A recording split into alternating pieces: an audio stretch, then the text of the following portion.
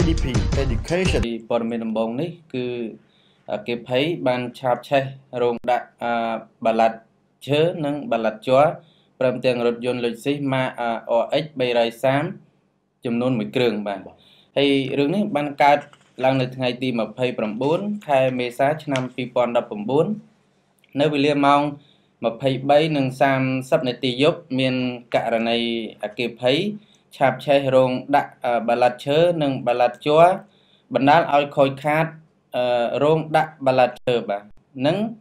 បាឡាត់ជ័រទាំងស្រុងព្រមទាំងរថយន្តម៉ាក Lexus RX 330ចំនួន1គ្រឿងនៅចំណុចភូមិរកាធំឃុំបែកចានស្រុកអង្គស្នួលខេត្តកណ្ដាលបាទបាទអញ្ចឹងយើងដឹងហើយអគិភ័យខែប្រាំងនេះយើងឃើញថាមានការឆាបឆេះសឹងស្ទើរគ្រប់ទីកន្លែង បាទជាពិសេសបងប្រជាពលរដ្ឋយើងមួយចំនួននៅតាមស្រែចម្ការគាត់ចូលចិត្តគេថាអត់អត់ប្រមូលសម្រាមទុកគោអីណាម្ដុំដុតអីទេឬក៏គាត់ប្រមូលមកទុកធ្វើជីអីណាកូនម្ដុំអត់ទេគាត់ច្រើនភាកច្រើនគាត់ដុតបាទដុតដុតសម្រាប់នោះឲ្យឆេះហើយនាំគ្នាភ័យបារម្ភបលូតអត់តន់ដល់ពេលចាប់ដើមមាន តែមានផ្សែងមានភ្លើងមានផ្សែង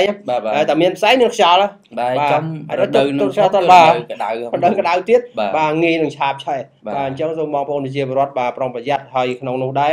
ផ្ទះនៅខេត្តកណ្ដាលនោះក៏គាត់និយាយថាឃ្លាំងមិនមែនផ្ទះទេឃ្លាំងនៅខេត្តកណ្ដាលធ្វើឲ្យឆេះខ្ទេចមកនោះគឺដោយសារ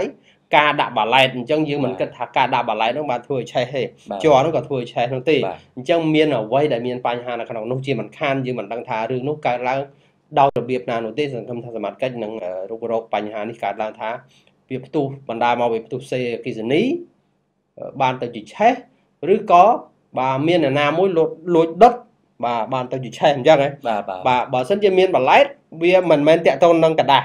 បាទបាទហើយបើសិនតែតាក់ទងនឹងกระดาษយើងគិតថាមានបងប្អូនអ្នកជាកម្មករនោះគាត់អាចជក់បរិយទៅហើយបោះចោលនៅគេនោះបាទអាចអញ្ចឹងដែរបាទវាអាចឆាបឆែកបាទនេះជាផលប៉ះពាល់ដែលយើងមិនអាចស្មានបានបាទប៉ុន្តែយើងមិនបានថាអ្នកណាខុសអ្នកណាត្រូវទេយើងគ្រាន់តែឲ្យជាគំនិតយោបល់ខ្លះដែលស្វែងយល់ថាការរស់នៅរបៀបម៉េចបាទបាទកុំឲ្យថាឃើញគេជួបបរិយជួបដែរបាទហើយអញ្ចឹងទៅមានតែការបំរុងប្រយ័ត្នបាទប្រុងប្រយ័ត្នបាទបងប្រយ័ត្នជាធំបាទ